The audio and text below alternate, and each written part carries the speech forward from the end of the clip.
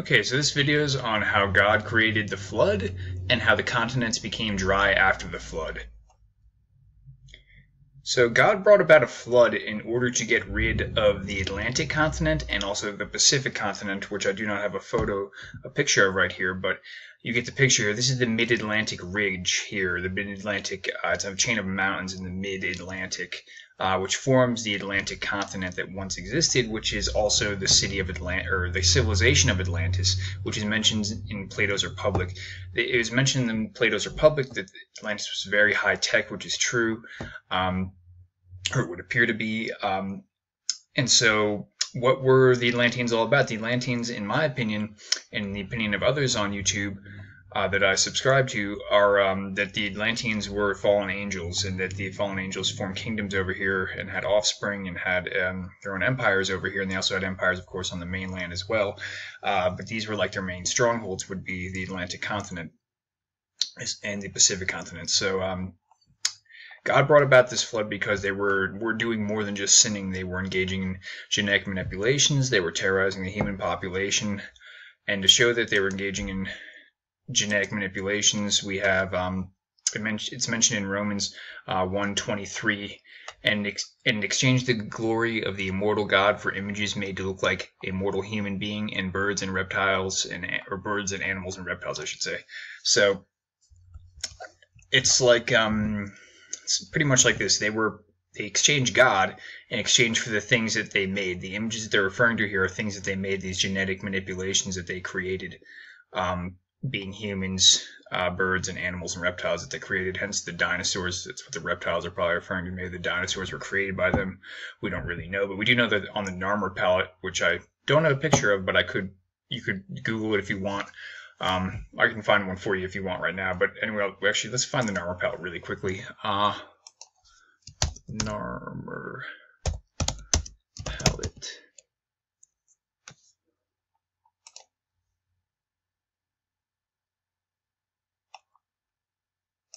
see if I can get a really good image of it for you.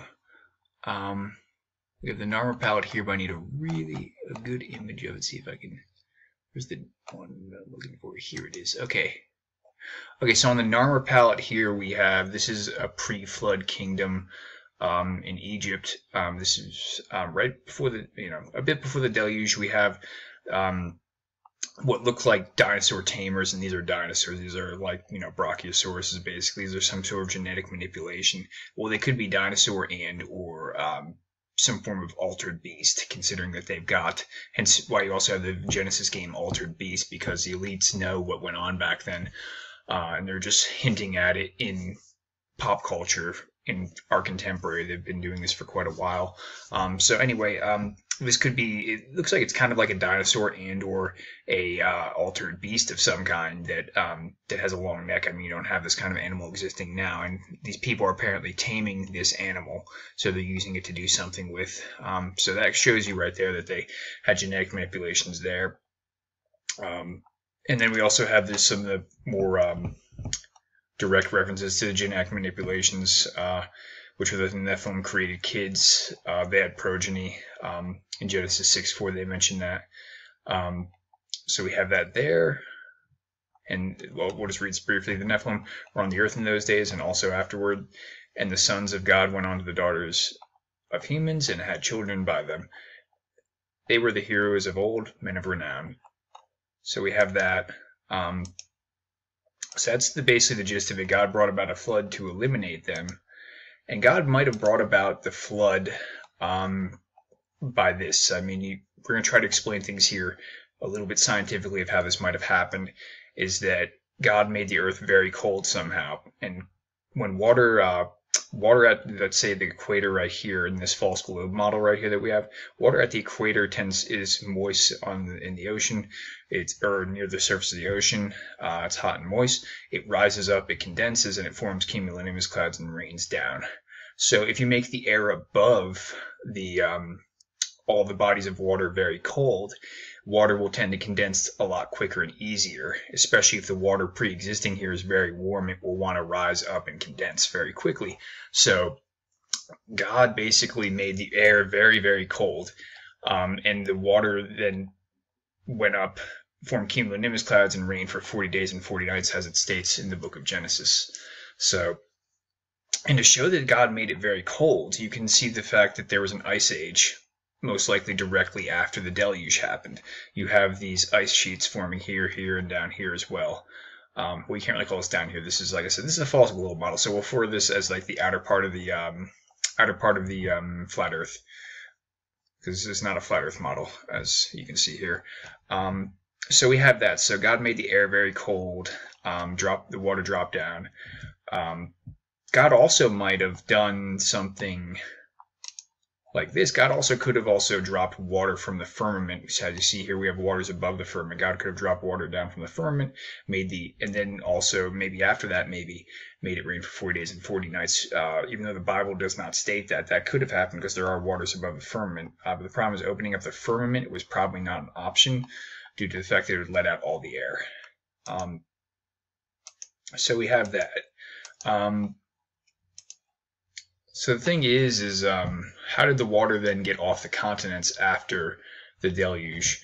Uh, because the continents had to be dried, and it's obvious that there was a massive, uh, or based on biblical accounts, in my opinion as well, I believe that the flood happened, and that the Bible is accurate. Um, and the Bible's also, in my opinion, the most ultimate form of truth, um, or one of the most ultimate forms of truth, if not the ultimate. Um, so anyway, what we have here is to show that Noah did land at Mount Ararat. So, so the land around that area was flooded as well as the as long with uh, as well as with the land around you know areas like Egypt where they had that that um, Egyptian dynasties like the Narmer kingdom there, where I just showed you the Narmer palette, uh, and also they had kingdoms um, you know in uh, Mesopotamia over here pre-flood. So those got flooded out. Noah landed at Mount Ararat, so the land obviously was flooded too. Um, to show that, and how the water got off these continents is that the ice expanded and it took in the water a bit. Um, so that's one way of getting the water off. The other way of getting the water off the continents is the fact that it slowly drained off most likely because water always goes to the lowest source hence why rivers on the mainland always like over here we have the columbia river where i live. The columbia river drains out into the uh, pacific and you have that everywhere. You have them forming deltas. The rivers will water will go to the lowest source to the lowest point anywhere so water drains out into the ocean. So that's pretty much what happened. Um, so that's the gist of how the flood happened and how or at least I think that the flood, how it might have happened, and how um, the continents got dry afterwards. So we have this immediate ice age that formed afterwards due to the fact that the air was really, really cold. Um, the water might have also been very cold as well. Um, so that's pretty much it. That's it in a nutshell. Um, that's how God might have done it. So it explains it a little bit. So I hope you have a good day and God bless.